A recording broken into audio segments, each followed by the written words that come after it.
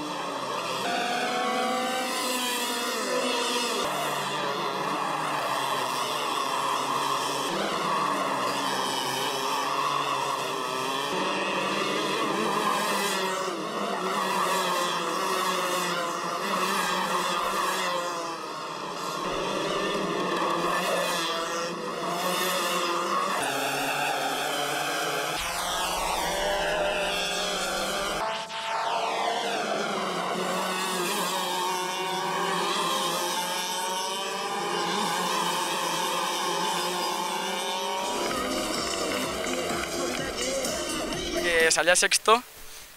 Me he colocado tercero en la primera curva y en la recta siguiente me he colocado ya en primera posición y ahí estaba apurado porque el Gerard me estaba, se está acercando por detrás y he tenido presión pero he podido aguantar bien hasta el final.